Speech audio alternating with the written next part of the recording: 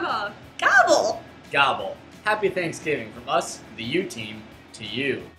I need to make my head bigger than yours. Wait, I forgot the first question. Cranberry sandwich. Sandwich.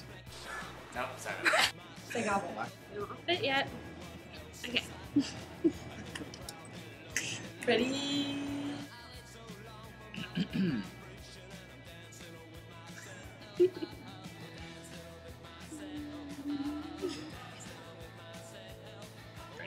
I'm motto. afraid this is gonna be too long. I'd like to share with you some thoughts about Thanksgiving and other things like math.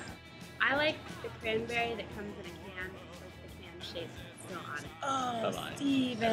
You guys no, really can no, do you got the you. same. It's weird. What are you doing? We're thankful for Hi.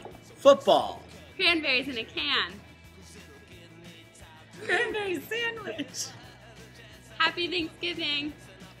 We'll probably use the other happy.